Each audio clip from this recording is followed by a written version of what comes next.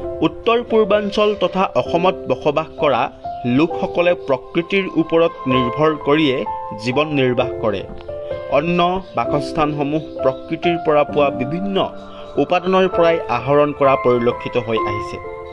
আজিৰ আমাৰ এই প্ৰতিবেদনত আলোচনা কৰিবলৈ ওলোৱা বিষয়টো হৈছে অসমৰ জনগোষ্ঠীয় লোকসকলে বিভিন্ন কামত ব্যৱহাৰ কৰা গছৰ পাত। কি কি গছৰ পাত ক'ত কেনেদৰে ব্যৱহাৰ কৰা হয়? হয়।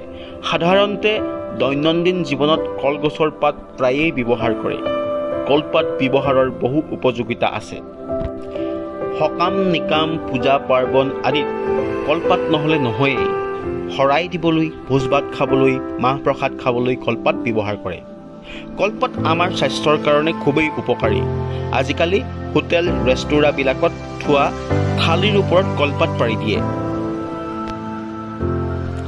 অসমীয়া সমাজৰ বিয়া বাৰু সকাম নিকামত কলপাত অপৰিহাৰ্য এক অংগ। বিজ্ঞানীসকলৰ মতে কলপাতত পলিফেনল নামৰ উপাদান পোৱা যায় যি আমাৰ খাদ্যৰ সৈতে শৰীৰৰ ভিতৰলৈকৈ এণ্টি অক্সিডেণ্টৰ কাম কৰে। কলপাতত calcium vitamin A C carotene citric acid tannin প্ৰচুৰ পৰিমাণে পোৱা যায়।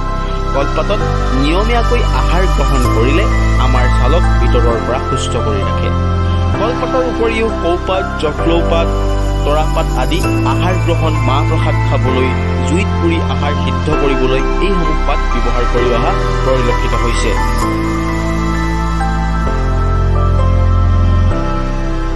আনহাতে টকৌ গছৰ পাতে এক উল্লেখনীয় ভূমিকা গ্ৰহণ কৰি আহিছে।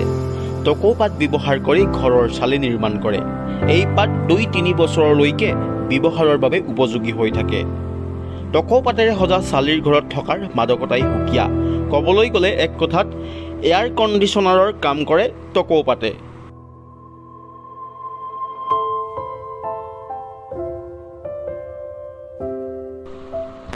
গৰমৰ দিনত অন্য ঘৰতকৈ টকৌ পাতেৰে সজা ঘৰত থাকিবলৈ ঠাণ্ডা অনুভৱ কৰিব আৰু অধিক ঠাণ্ডাৰ দিনত গৰম অনুভৱ কৰিব। এই বিষয় সন্দৰ্ভত গৱেষণাৰ প্ৰয়োজনীয়তা আছে।